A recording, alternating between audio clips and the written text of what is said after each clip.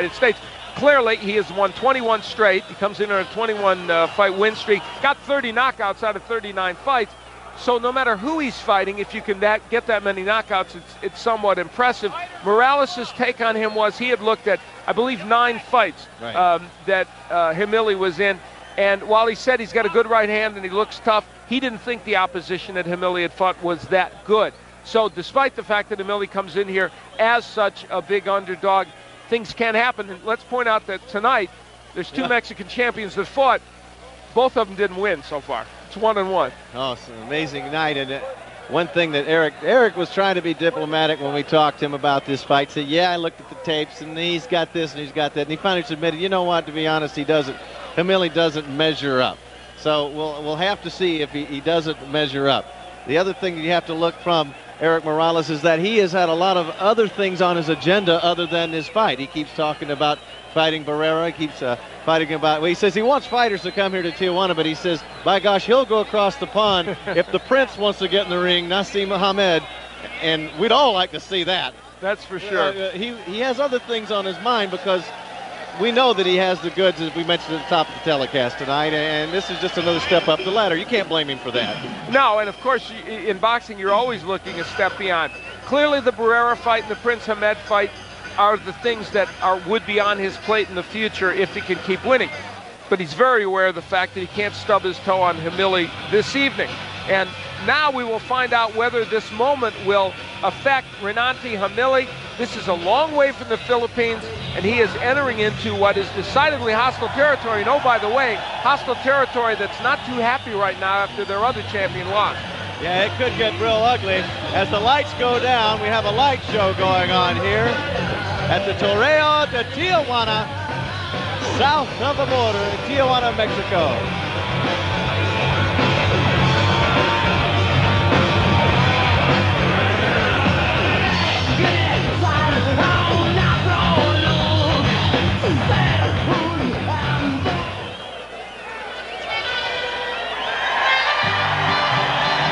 Okay, now the lights come back up, Al Bernstein, and the familiar Mexican music is playing, always festive. What a night. As the crowd, now they just teased him a little bit. The music now they're kind of holding in there.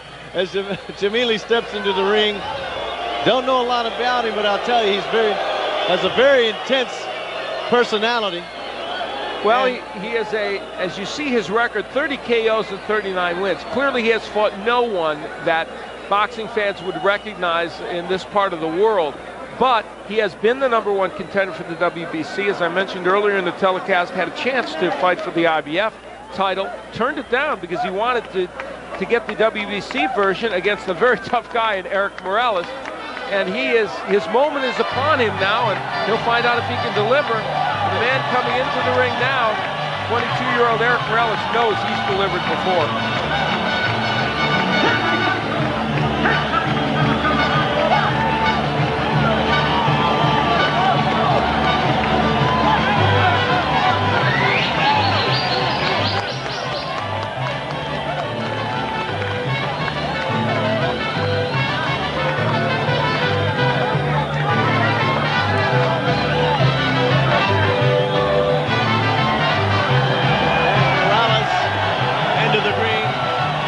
El Terrible exciting his local fans who have just taken a punch in the stomach a few minutes ago.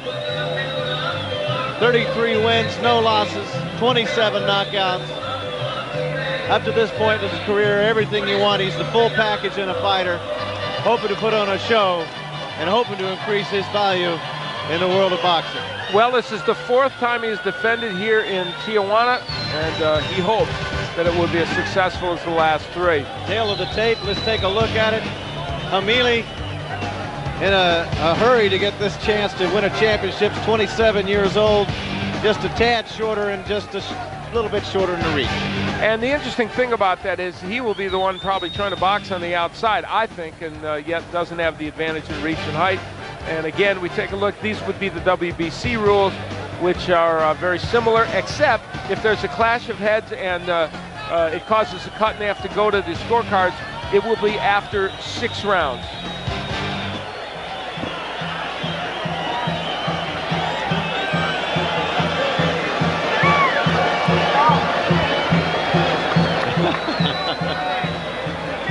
All right, let's get let's get it going and set it up to Michael Buffer. Damas y caballeros, Bob Arum, Top Rank Incorporated con Corona Extra, la cerveza más fina, presentamos 12 rounds of boxing for the WBC Super Bantamweight Championship of the World. Sanctioned by the World Boxing Council President Jose Sulaiman, WBC Supervisor ringside Ariosto Manrique. Also sanctioned by the Tijuana, Baja California, Mexico Boxing Commission President Senor Roberto Magaña. Senior physician at ringside Dr. Ramon Cruz. Boxing directors Rigoberto Martin del Campo. Jose Luis Esqueda, timekeeper at the bell and counting for the knockdown seconds, Sergio Fernandez. The three judges scoring this bout on a 10-point must system are Tommy Kaczmarek, Chuck Hassett, and Tony Castellano. And when the bell rings, the man in charge of the action, working for the 118th time in a world title bout, World Boxing Hall of Fame referee Marty Denkin. Ladies and gentlemen, are you ready? Damas y caballeros, están listos. Con el Toreo de Tijuana, Baja California, México, damas y caballeros, let's get ready to rumble!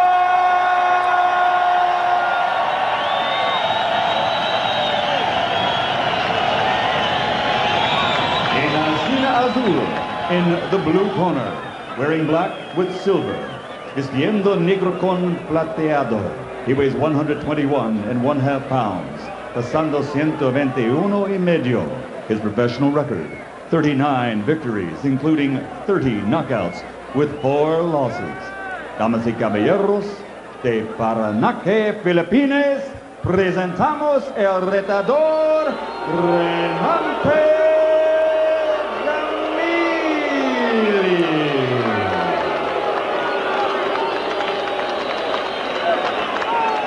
Y ahora, damas y caballeros, en la esquina contraria, vistiendo negro con blanco, pesando 122 libras, at 122 pounds, con un récord profesional, invisable, en 32 combates, undefeated in 32 bouts, all victories including 26 knockouts, and he is rated among the best pound for pound in the world today. Damas y caballeros, aquí presentamos el campeón mundial invencible de los pesos super gallos de Tijuana, Baja California, México. El norte, Eric el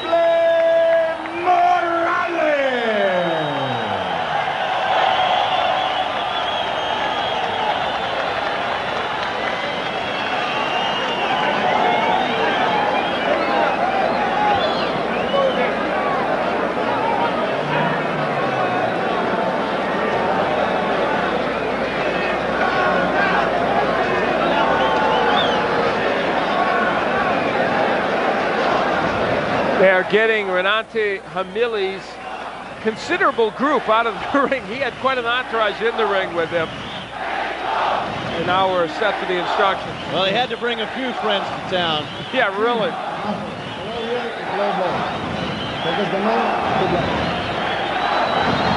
Final, final instructions from Marty Denkin. A scheduled 12 rounder for the WBC Super Bantamweight title, now held by Erik Morales.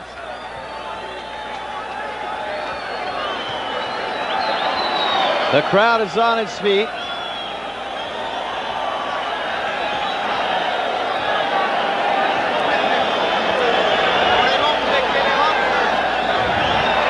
And here we go.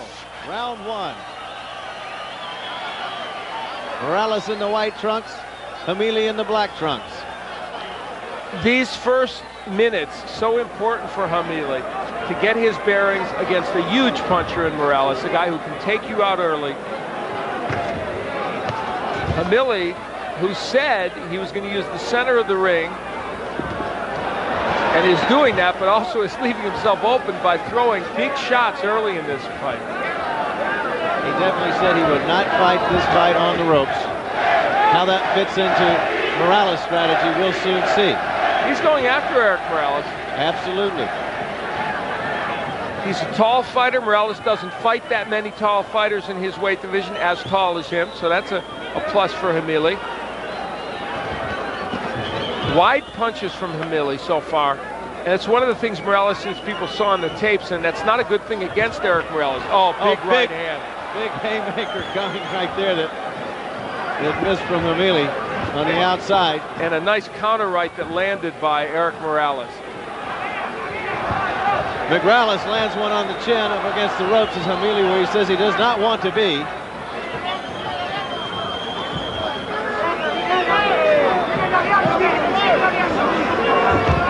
Round one halfway done.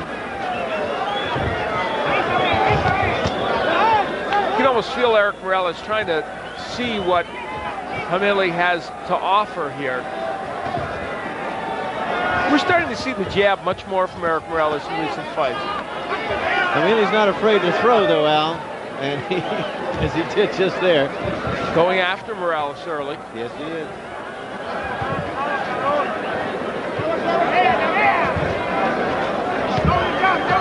For to think of Morales as just some slugger is a real misnomer. Look at how well he keeps his hands up, brings his hands back to position after he throws. Erik Morales, a very well-schooled technician in the ring. Inside 50 seconds, round one. Those punches not effective, but Morales seeing an opening and trying to take advantage.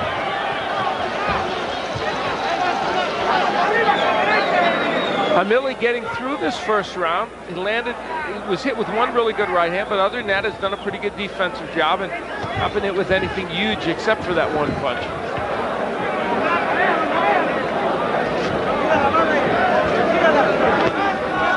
He's traveled a long way for a shot he said he's wanted for a long, long time. Felt like he was being pushed aside. He is the number one contender in the WBC. 10 seconds left in round one of a scheduled 12 rounder.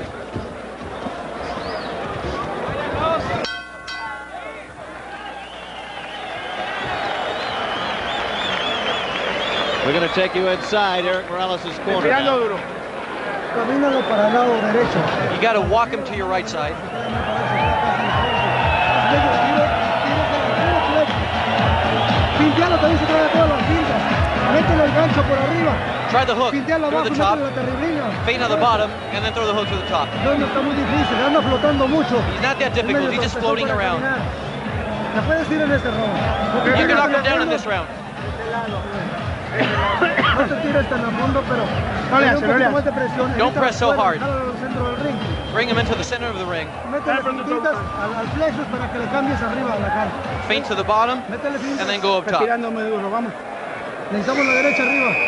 We need that right.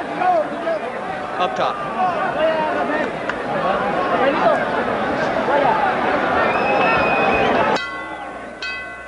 Now I'll ask uh, Al Bernstein to, to interpret those instructions for him. What are they trying to get him to do, Al? Well, I think they, they think that if he feints to the body, Jamili will bring his guard down, and then he can go upstairs. They want him to go downstairs eventually a little bit, and they, they think ultimately that's going to open up the top. But he's not feinting much, Erik Morales, and he's capable of doing that. We're in round two of this WBC Super Bantamweight Championship. Erik Morales looking to ignite the local Tijuana crowd. Makes his home here. Proud of the fact that he brings fighters here to fight him.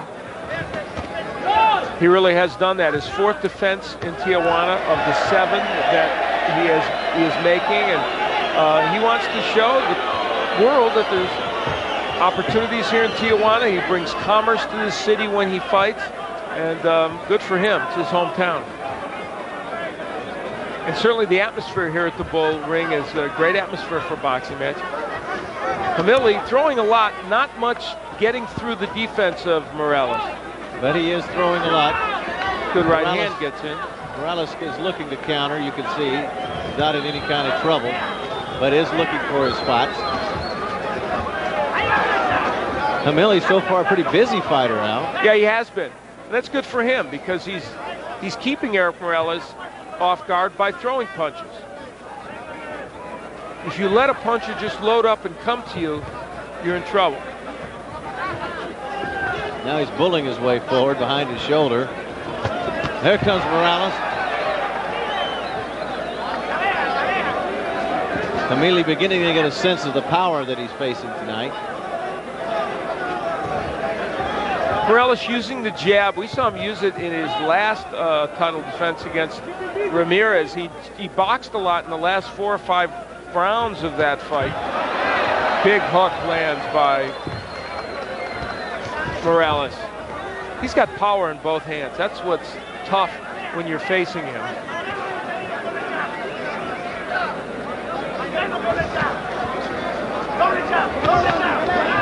Pick that one off pretty cleanly.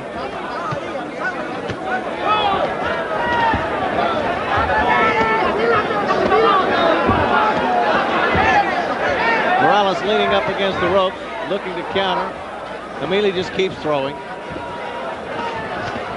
There's a short inside right that found its mark. He's got a little bit, a little bit of a backpedaling going on by Jamili. 10 seconds left in round two. Morales has found a combination that will work, a double right hand, and he's been working it. Gonna, as we look at Jamili in his corner, he has got to keep smothering Morales for another round or two because if he gets in punching room, I think Morales has found the key to landing a couple of uppercuts and straight right hands.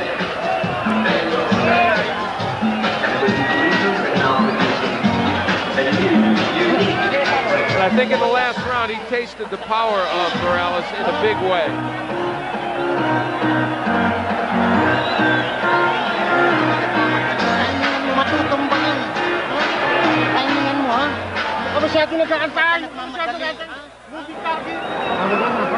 Respirando duro. Breathe it. You gotta box it. Have speed. Don't let him pressure. And don't use the ropes that much. Well, now that Morales, as we enter round three, has found a combination to see if he can crack open the safe now and get the job done. You know, Jamili told us he thought Morales was going to move and run on him. I, I never thought that was going to happen, and it certainly isn't. What Erik Morales is doing, though, is showing a little bit of movement, enough lateral movement, and showing us what he wants to show, that he is a boxer puncher, that he's not just a guy that goes in and lands a big shot, and uh, if he doesn't, he's incapable of doing other things. Very important to him to shed that, that label. Very confident fighter, and he should be as he steps up. There's once again the right. As the world learns more and more about him. But a lot's been put on him, Al. Yeah, people are already comparing him to Chavez and saying he's the next great Mexican champion. But I think he's handling it with uh, a certain degree of aplomb, and I think he knows that unless he keeps working hard and winning fights, that's going to all go away. Just on the inside.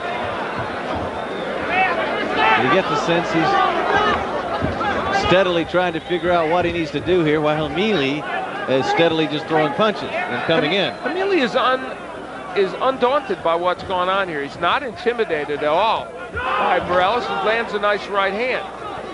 Jamili pushes a lot of his punches, though. He doesn't throw them with a lot of snap. And that diminishes some of the power. There's an uppercut that landed. There's another combination that landed. Jamili seems to take it so far, but he's backing up now. Another combination. The right got into the chin. He lunged and got hit with an uppercut, and those were A punches by Morales. Those were not secondary punches. Those were the kind of punches Morales usually hurts people with, and Jamili was able to take those shots. I think he was stunned momentarily, but he didn't go anywhere. He acted like he'd been there before. Yeah, and I don't think he has been. I, I don't think he's taken punches like Morales can throw, but he was able to deal with it. About 30 seconds left here in round number three of the WBC Super Bantamweight Championship. It's been a good round, though, for Morales. He's landed some very good punches and uh, figured out a little bit what to do with Jamili when he lunges in. He's going to try the uppercut again and work inside if he can and step back out. Trying the fake that his corner was talking about.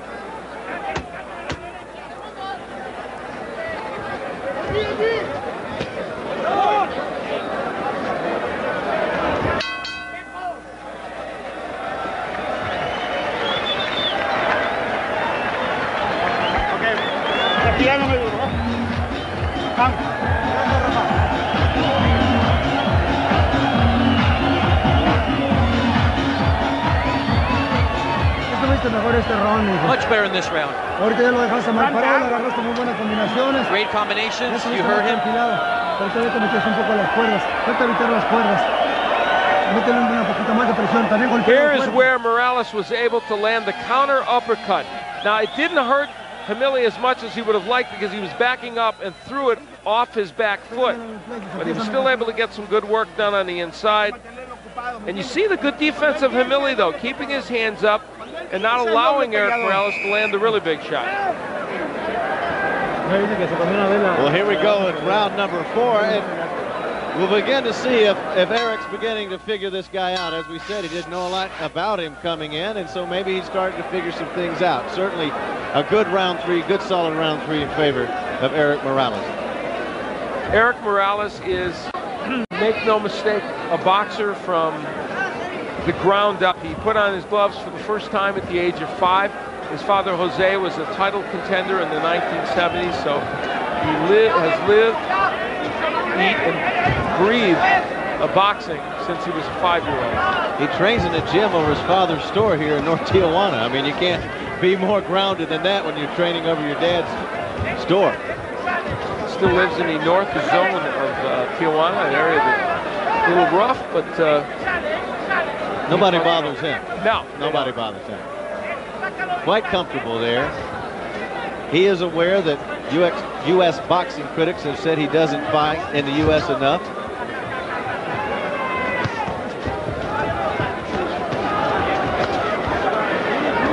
But he'll take that as long as he can bring the championship here and have people come here to fight. Well, and I think the really the fights that where he has to fight there because of site fees and things, he's done and he will do in the future. But I admire the fact that he wants to bring fights here to Mexico. He said so many Mexican champions haven't been able to or wanted to do it.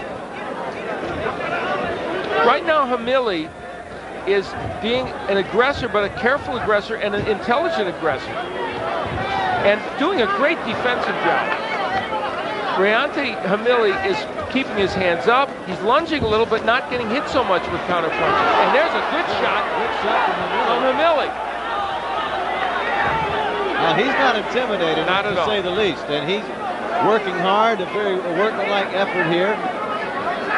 And the, the other important point, Alan, is that he has tasted several of Morales' big power shots, and he hasn't gone anywhere.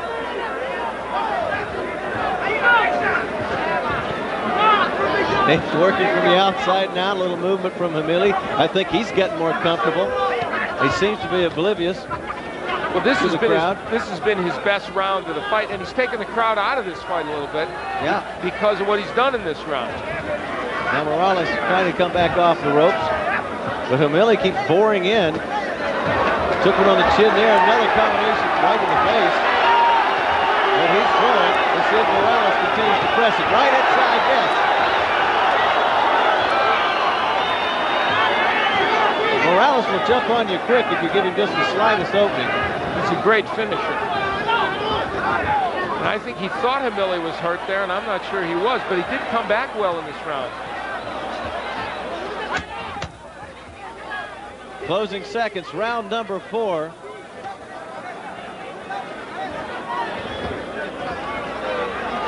And that's the end of round number four. Eight to go, if it goes that far. And despite the fact that uh, Morales came back with a good rally at the end of that round, the best round of the fight so far for Jamili.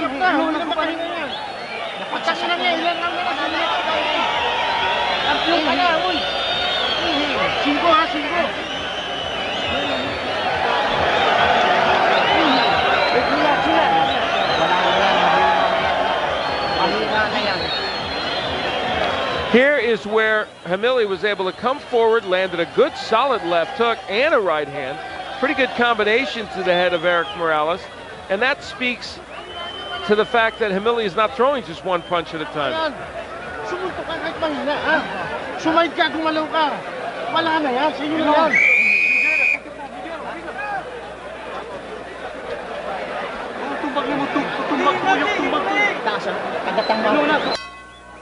Well, Al, I've seen four rounds of Jamili fighting, and he didn't come in as a as a stiff by any means.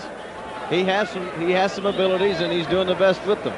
Well, so many times in these lighter weight divisions, people from either from Europe or from Asia come in, and you just don't, in South America often, you don't know that much about them because they have never fought here, and you get a chance to see a couple of tapes that don't really show you enough, and then they end up being tough fighters.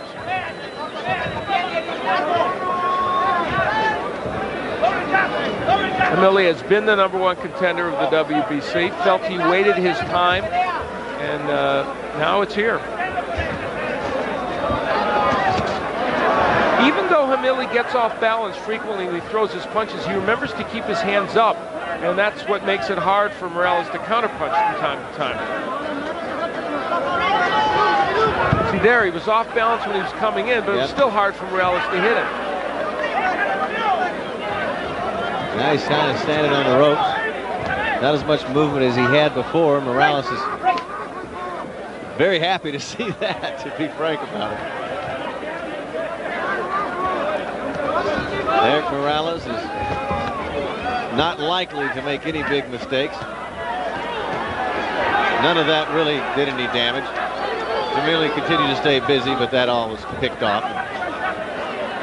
You know, the wild card so far in this fight, I think, is the defense of Reynante Jamili, which is better than it looked at the beginning. He's making it very tough for Morales to really land clean shots. See, there's an example. Once Morales is on the inside, punches are being slipped, they're being blocked. Well, we wonder if, they kind of tangle up a little wrestling there, we wonder if if Erik will begin to think that maybe he needs to put more of a show on and worry about the crowd or his own reputation or just continue to do what he has to do to win the fight, sometimes that can be a factor, especially since we just saw Arce lose here. Well, there is pressure on you always, I think, when you fight in front of a big crowd to do more than just win. All you can do is win, whether it's by knockout or, or, um, or decision. You have to just let it flow. 30 seconds just about coming up on 30 seconds left in round five. They lock up on the ropes in this very tiny ring, as Al Bernstein has pointed out tonight.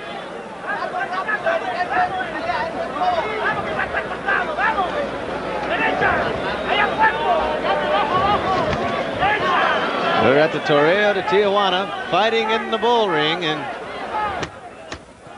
closing up on the end of round five.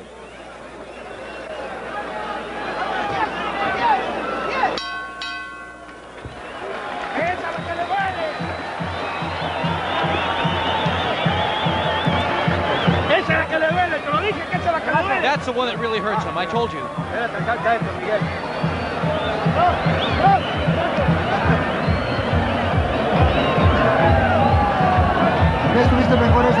You were much better in this round. Keep preparing that punch. That's the one that really hurts him. The right. Entonces te le agachas un poquitito, Eri, le metes esta y devolves con el Then you duck a little bit and you counter with the left, up top. Vamos que sí se puede, vamos. Of course you can do it. Let's go. Tómala, tómala. Caminar y lo estuviste Drink, drink some water. Abajo, ya estuvo más pasivo, ya no entró con la You see how, how much more passive he was when you started going to the body?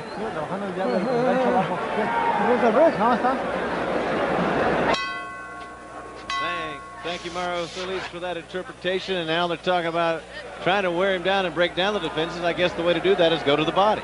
Yeah, and the, part of the problem with that is that Jamili, oh, nice jab by Morales. Jamili has had good defense down there as well. And there's a little, seems to be a little bit of a cut over Jamili's left right eye. And Mart, yeah, and Marty Denkin came over here and uh, told us that that came from a punch, not a clash of heads.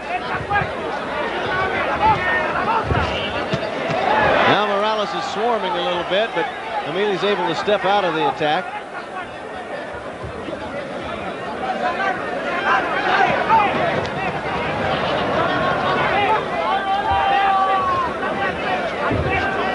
He has made Morales miss a lot. Now, in his last defense against Ramirez, um, Morales landed 43% of his punches, which is a very nice percentage, numbers according to CompuBox through that fight. And uh, But tonight, clearly, it's a lot less. He's pressing the attack. Morales coming in behind his left. He seems to be able to double up the left sometimes now. Much less coming from Jamili in terms of offense now.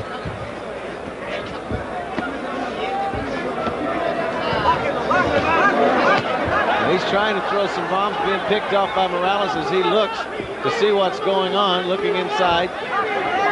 And then just a little clutch there, and they push off. Jamili seemed to try to mount some kind of offense. Good counter right hand there a moment ago by Erik Morales. He has just about every punch one punch that I thought he was going to use more of, and he started out tonight using it, is the jab, but he hasn't used that punch as much. And he, when he has, it's been mostly as a range fighter. Nice, seems to be chopping away. More blood coming from the eye of Jamili. Nante Jamili from the Philippines. Putting up a very game effort tonight.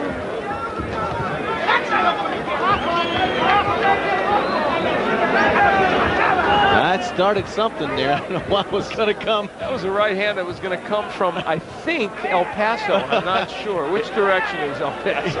he held it up pretty good. Possibly San Diego. there we go. The crowd not happy right now. But I don't know what Erik's supposed to do. He doesn't have that many opportunities. Good, very good defensive fighter. Now he's responding and trying to chop away. He is doing damage. You can see the blood pouring in the right eye. There's a good punch. There's the right hand. Knocks Jamili down. Right on the chin. With just a few ticks left in round six.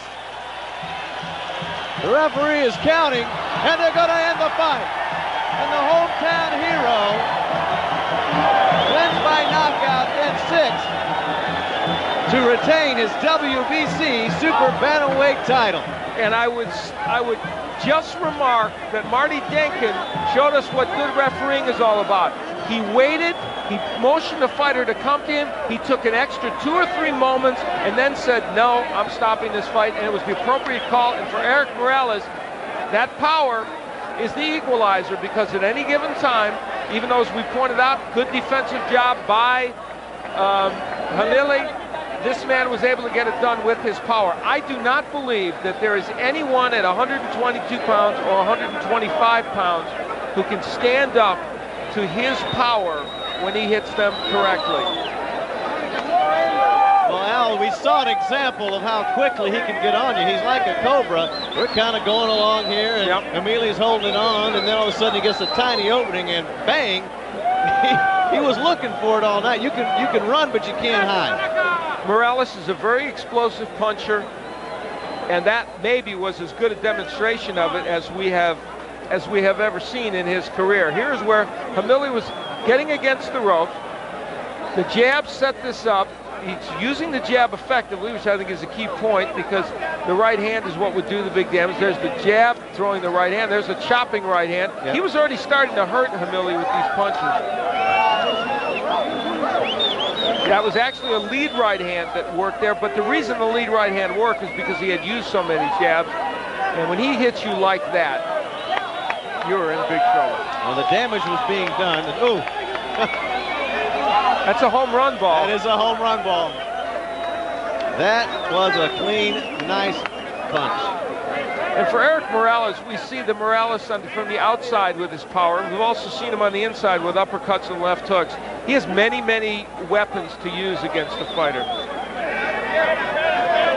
Well, he can come at you from every angle, Al, and not to be trite about it, but the lead rider, it was a matter of him figuring out the combination, and he was going to get in sooner or later. And when you're doing the damage and Jamili's starting to show the effects of the damage, you could see right as that combination came in, he started chopping away, chopping away. His guard came down, and that's all it took within a flash of an eye.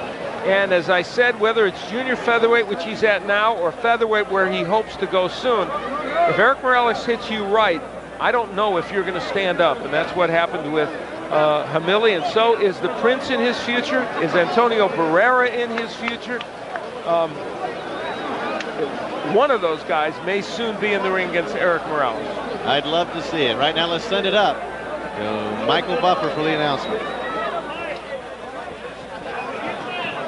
Ladies and gentlemen, damas y caballeros, referee Marty Denkin, following the knockdown, calls a halt to the bout at three minutes and two seconds of round number six.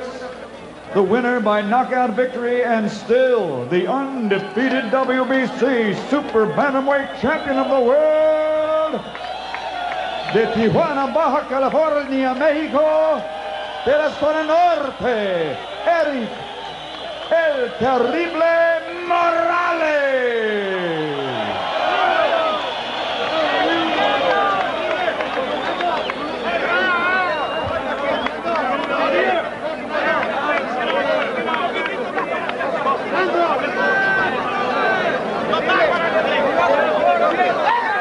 He's still the champion and looking every bit the part and Al, I have to wonder, was this the way you saw this was going, basically, even though we didn't know much about the Filipino? Well, you know, uh, he defends his title for the seventh time. And one of the interesting things about this match is that uh, Jamili is a perfect example of a guy who is clearly not a bad fighter at all, has good defensive skills, and uh, can mount some offense. But if you are not a huge puncher um, against Erik Morales, ultimately he may get to you. And that was really what this was all about. Despite the good defensive technique of Jamili, eventually Morales was able to get to him. Okay, let's send it up to Mario and for some thoughts.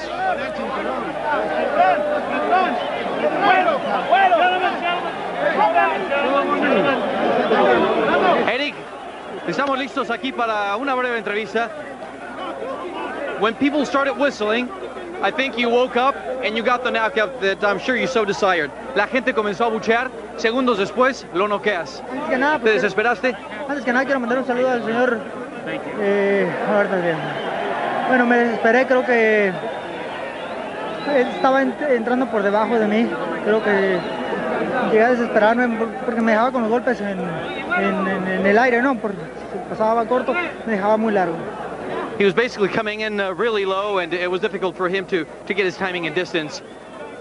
Unlike most boxers, you say that you press for the knockout. You want to get the knockout. You don't wait for it to come. A diferencia de muchos boxeadores, tú dices que no esperas el knockout, tú vas en busca de él. ¿Se demoró demasiado? Did it take a little too long to get the knockout? Bueno, eh, tiré, tiré buenos golpes, lo encontré con buenas derechas. Parecía que era muy duro de su quijada. Empecé a boxear, traté de hacerlo más, lo, lo, golpearlo, ir ganando round por round y no aferrarme. Creo que me salió muy bien y estuvo perfecto. He took his time and he believes that uh, the way he fought this fight had a perfect ending. You've talked about moving up to the uh, 126 weight division. Are you ready for that? Is was this your last fight at 122? Unless, of course, you come back and get uh, Barrera. Has hablado de subir a la 126. ¿Es esta tu última pelea en la 122? Ah, posiblemente, todavía no sé, vamos a hablar aquí con mi promotor y a ver qué pasa, qué, qué, qué puede haber en 126. Y ya veremos. He says Bob has the answer to that, so we got to ask Bob, is he moving up to 126? We're very close to making a fight uh, between Eric, who I think is one of the great fighters in the world, and Barrera. That fight will be coming eh, at 122 uh, for uh, because he's the BO champion and Erik is the WBC champion. I've been talking with the Barrera people. The fight is very, very close to, to being made. Uh, maybe this year in uh, November. Great, thank you so much. Felicidades. Bueno, antes que nada, un saludo al señor Labastida Ochoa y quiero decirles a todos Tijuana que fue una gran noche. Just wants to thank everyone for a great night. Thank you guys, and uh, Let's toss it down to ringside, Alan Allen. Okay, Mario, and uh, good job from you tonight. And uh, thanks back to Erik Morales for showing us a great champion that he is. Al, I want to get your final thoughts. Uh, will he be able to bring more and more fights here to Tijuana? Is he going to have to go across the pond to take on the Prince? Or well, I, you know, what Bob Arum talked about certainly is a lovely appetizer to him uh, facing the Prince. Marco Antonio Barrera, who has the WBO championship, a great Mexican champion as well. There is bad blood between those two. They've had confrontations before outside the ring. I think that is a spectacular fight, and if that one would happen as soon as November, as Bob Arum indicated, I think it would be a treat for boxing fans, and I think it would be a slugfest. What'd you think about your first night in the bull ring after 20 years of boxing coverage? You know what? Never been to this bull ring, and I got to tell you, it was a lot of fun. These fans were great. Uh, they showed a lot of enthusiasm. We saw some good boxing. And your millions of fight fans across the country and around the world might want to know that you are a new papa. I want to say congratulations to Al Bernstein. Wes has been in the world for about, oh, nine days now, and he came down here to spend time and work with me. I want to say thanks to our entire crew tonight. Great to be with you, the legend Al Bernstein, Mario Solis, everybody in the truck. I'm Alan Massengale. Good night from Tijuana.